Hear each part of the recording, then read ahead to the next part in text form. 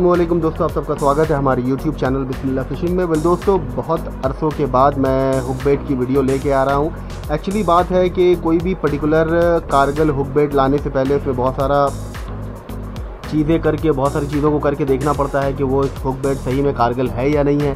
तो इसके वजह से क्या है कि टेस्टिंग वगैरह करने के बाद ये सब मामला फिर समझ में आता है कि कितना कारगल होगा या नहीं होगा तो इसके बाद वीडियो प्रोड्यूस किया जाता है। तो इसीलिए एक वीडियो को, एक नया रेसिपी को लाने के लिए काफ़ी वक्त लग सकता है और इसके वजह से ही मुझे काफ़ी वक्त लग गया है कि आपके सामने भी जो भी लेके आऊँगा तो इन वजल वो सही रेसिपी लेके आऊँगा, ताकि आप जब मछली पकड़ने जाए तो आपको मछली हो। तो आज जो हुक बेट के बारे में हम बात करने वाले हैं, ये बेसिकली टारगेट करता है रेहू मछली को। ऐसा नहीं है कि रेहू मछली टारगेट करता है तो सिर्फ़ रेहू ही खाएगी। इसको कोई और प्रजाति की मछली भी खा सकती है। डिपेंड करता है सिनारियों पे सिचुएशन पे, कहाँ पर आप मछली पकड़ने जा रहे हैं और बहुत सारी मामला मामूलात है जिस पर डिपेंड करता है कि मछली कौन सी खाएगी। पर अलबत्ता ऐसा है कि ये जो हुक बेट है, ये ज़्यादातर रेहू इस पर अटैक करता है और ये रेहू का पसंदीदा ये खाना है। तो इसके लिए जो आपको सामान लगेगा दोस्तों, वो मैं आपको बताता चलता हूँ और कोशिश करता हूँ कि जितना सिंपल लैंग्वेज में, जितना सिंपल तरीके में मैं आपको समझा सकूँ, उतना ही मैं कोशिश करूँगा कि वीडियो में फ़ोटो के माध्यम से चीज़ों को समझाने की कोशिश करूँगा, आपको बोलने के बोलने के तौर तरीके से भी समझाने की कोशिश करूँगा ताकि आपको मुकम्मल तौर पे समझ में आ जाए कि मैं किस चीज़ों के बारे में बात कर रहा हूँ। तो रेहू मछली जो होती है, उसकी फ़ोटो आपकी स्क्रीन पर दी हुई है। तो इसी मछली के ताल्लुक से आज हम हुकबेट बताएँगे। तो इसके लिए जो अव्वल चीज़ आपको लगेगा दोस्तों, वो है आपका ब्रेड क्रम। ब्रेड क्रम का मतलब होता है जो पावरोटी होता है, जिसकी फ़ोटो आप देख रहे हैं।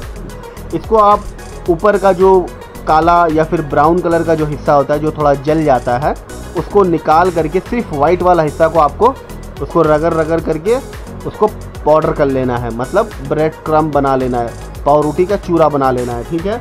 ये जो आपको ब्रेड क्रम लगेगा, ये हाफ़ पाउंड रोटी का लगेगा हाफ़ पाउंड रोटी का आपको ब्रेड क्रम लगेगा, ठीक है? थोड़ा सा ऊपर नीचे होगा तो इससे कोई दिक्कत नहीं है, कोशिश करें आप हाफ़ पाउंड का रोटी मिलता है बाज़ार में मशीन कटा स्लाइस रोटी तो उसका किनारे का हटा करके आप रोटी ले लीजिए और उसको आप पाउडर कर लीजिए। फिर इसमें जो लगेगा आपको वो है मलाई। मलाई जो होता है, जैसे कि आप जब दूध गर्म करते हो तो दूध के ऊपर एक एक लेयर आता है, जिसको हम लोग अपनी नॉर्मल ज़बान पे, हमारे बंगाल में इसको मलाई कहा जाता है, ठीक है? तो ये तकरीबन आपको 30 ग्राम लगेगा। अब मलाई का जहाँ तक बात आया, या घी का जहाँ तक बात आया, जहाँ पर भी जब बात होता है या ज़िक्र होता है फिशिंग का हुक बेट बनाने के लिए तो आप हमेशा याद रखिएगा कि भैंस का घी या मलाई वगैरह नहीं चलता है। हाँ अगर कोई पर्टिकुलर बेट है एक्सेप्शनल केस है, अगर उसमें भैंस का ही दरकार होता है, जैसे मिसाल के तौर पर मैं जो टेंगरा मछली पकड़ने जाता हूँ कभी कदा जब दिल चाहता है तो वहाँ पर मैं भैंस का घी इस्तेमाल करता हूँ, क्योंकि वो ज़्यादा बेहतर रिज़ल्ट देता है और ईजिली काम हो जाता है। गाय के घी के मुकाबले में भैंस का घी सस्ता होता है तो इसीलिए उसमें काम हो जाता तो गाय का घी इस्तेमाल नहीं करता हूँ। पर अगर कहीं पर भी फिशिंग का ताल्लुक से बात हो कि देसी घी लगेगा तो वहाँ काव का मतलब गाय का आप घी का इस्तेमाल करेंगे। यहाँ पर जो मलाई का बात कर रहा हूँ मैं, वो भी आप गाय का मलाई लीजिएगा। गाय की दूध में जो मलाई का परक जमता है ऊपर में, गर्म करने के बाद ठंडा होता है तो उसके ऊपर में एक लेयर जमता है, उसको मलाई कहते हैं। और ये जो आपको लेना है, तकरीबन तीस ग्राम लेना है। ये जो मलाई है, अगर ये ताज़ा मलाई है दोस्तों तो ये ज़्यादातर आपका रेहू खाता है, और अगर ये मलाई बासी है, बासी मतलब काफ़ी दिन पुराना है तो ये आपका मिर्गल खाएगा। मिर्गल जिसको नैनी या नारायण भी बोलते हैं, फ़ोटो आपकी स्क्रीन पे दिया हुआ है। तो इसमें फिर आपको एक होम्योपैथी मेडिसिन लगेगा। होम्योपैथी मेडिसिन लगेगा, जिसका नाम है cocculus indicus, mother tincture Q. अब ये जो मेडिसिन है दोस्तों मार्केट में आपको मिल तो जाएगा, ऐसा नहीं है कि नहीं मिलेगा, कुछ कुछ जगहों में मिल जाएगा, मगर ये आपको इंडिया का माल मिलेगा। तो इंडिया का माल आपको नहीं लेना है, आप इससे पहले भी सुने होंगे कि मेडिसिन के ताल्लुक से अगर कहीं चर्चा होता है तो वहाँ पर ही बताया जाता है फिशिंग में कि अगर आपको होम्योपैथी मेडिसिन लेना है तो वो जर्मन कंपनी का लेना है।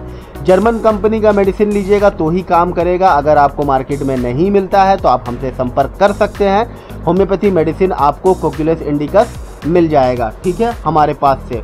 तो ये जो कोकुलस इंडिकस होता है दोस्तों, ये आपको तकरीबन तीन बूंद इसमें डालना है। तो गोया के आपको क्या करना है, जो आपको जो पावरोटी लेना है, चूरा उसका, उसमें आप 30 ग्राम मलाई डाल दें, तीन बूंद कोकुलस इंडिकस जो होम्योपैथी मेडिसिन होता है, इसको डाल करके, अब इसको आपको अच्छे तरीके से मिक्स करना है, बिना पानी दिए, उसी में मिक्स करना है आपको। उस ही में मिक्स करना है आपको, पानी नहीं देना है। इसको अच्छे तरीके से मिक्स कीजिएगा। अब इसमें जो सामान लगेगा दोस्तों, वो है चूटी का अंडा। चूटी का अंडा जो होता है फ़ोटो आपके स्क्रीन पे दे, दिया हुआ है। अगर आपको ये चूटी का अंडा दरकार है तो आप हमसे संपर्क कर सकते हैं। हम इसको बेचते हैं। अलग अलग सीज़न में अलग अलग रेट होता है। और मोर ओवर आप जो स्क्रीन पे देख रहे हैं, ऊपर में नंबर वो व्हाट्सअप नंबर है हमारा। इस पर जा करके आप कैटलॉग भी देख सकते हैं। काफ़ी कुछ सामान है जो मैं बेचता हूँ, मसाला वगैरह सब कुछ बेचता हूँ, जबकि मैं बंगाल का हूँ। और मैं अभी बात छिड़ी है मसाले के ताल्लुक से तो मैं आपको कुछ फ़ोटोज़ दिखाना चाहूँगा। ये सब कुछ फ़ोटोज़ है, जो कि मैं आपको दिखाना चाहता हूँ, जो हमारे मसाले में लोगों ने पकड़ी है, जो आप फ़ोटो अपने स्क्रीन पर देख रहे हैं।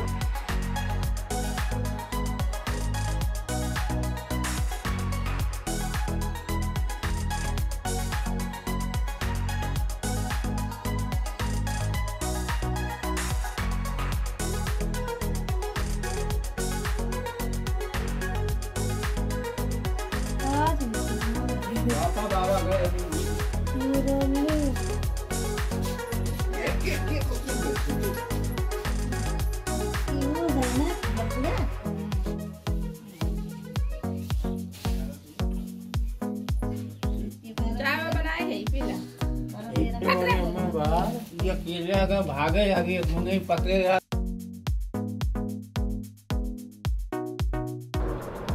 तो दोस्तों चूटी का अंडा जो लगेगा आपको वो 10 ग्राम लगेगा, वो भी सिर्फ़ वाइट वाला हिस्सा। अगर आप चूटी का अंडा को कभी मुँह में रखे चखेंगे तो आपको समझ में आएगा कि चूटी का जो अंडा होता है, वो एक्चुअली में खट्टा किस्म का होता है। मैंने चखा नहीं है, पर मुझे पता है, क्योंकि उस्ताद से पता चला है मुझे।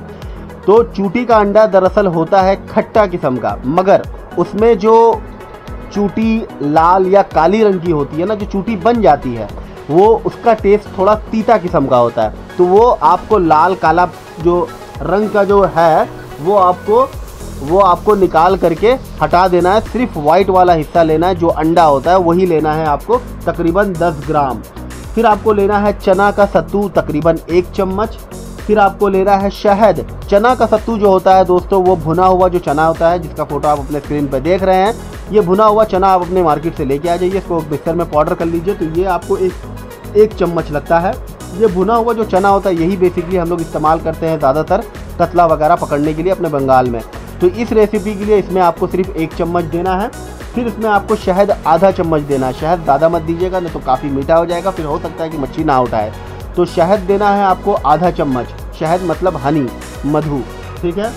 और पहले तो आपने तीन सामान ब्रेड क्रम फिर मलाई और होम्योपैथी मेडिसिन दे करके तीन ड्रॉप आपने मिलाया अच्छे तरीके से। फिर उसके ऊपर से बिना पानी दे के मिलाना वो आपको। फिर इसके ऊपर से आपने 10 ग्राम चुटी का अंडा दिया। फिर इसमें आपने चना का सत्तू एक एक चम्मच दिया, चाय चम्मच। फिर इसमें आपने हनी, शहद आधा चम्मच दिया। उसमें देने के बाद थोड़ा पानी छिड़क करके उसको आप अच्छे से सान लीजिएगा। और इसको अच्छे तरीके से लगड़िएगा, पॉलिश कीजिएगा कि इसमें कोई भी दाना वाला मामला ना हो। एकदम एकदम आटे जैसा एकदम नरम हो जाए। और जो पानी आपको इसमें स्प्रिंकल करना है हल्का हल्का छिड़कना है और सानना है, वो पानी ज़रूरत के हिसाब से दीजिएगा और वो भी घर का टैप का, वाटर या आपका बिस्लरी का पानी नहीं चलेगा। ठीक है? वो जहाँ आप शिकार करने जाइएगा, वहाँ का पानी।